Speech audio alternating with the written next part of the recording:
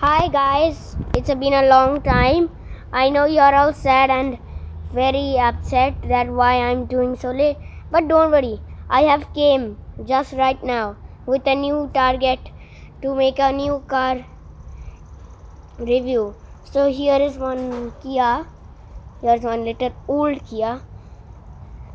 This has been there for months. This is the bonnet this is the headlight. This is the front design. Made with grill bonnet wiper glass.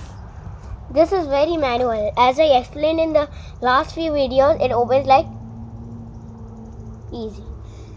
This also has an antenna but since it's old uh. it has been broken.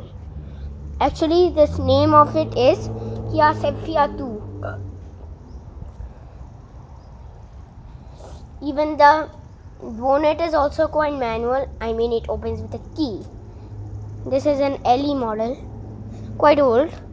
The tires are like that nissan sentra 2001 model and the body is quite same except the headlights.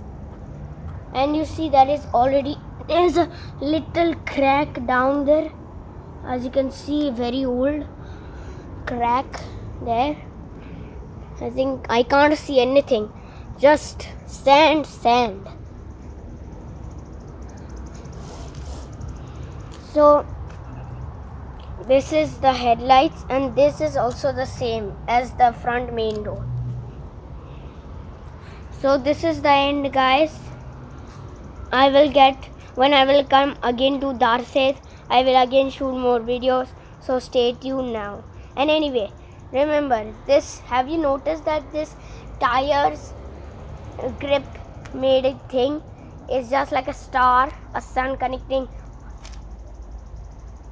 seven rays